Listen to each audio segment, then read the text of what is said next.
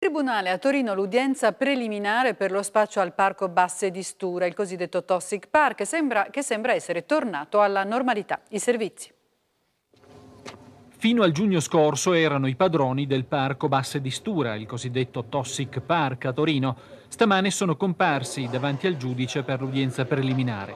42 imputati, 23 detenuti, quasi tutti africani. Comune e Regione hanno chiesto di costituirsi parte civile, rappresentano l'insieme della comunità.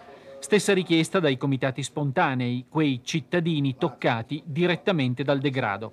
Per questi comitati essere presenti nel processo rappresenta un salto di qualità il fatto di entrare nelle aule giudiziarie, il fatto, il fatto che i cittadini siano eh, presenti dove c'è un processo vuol dire anche che eh, la giustizia fai da te che noi non abbiamo mai condiviso eh, viene messa da parte. Ecco. Gli avvocati difensori hanno ottenuto un rinvio e il giudice deciderà il 20 maggio.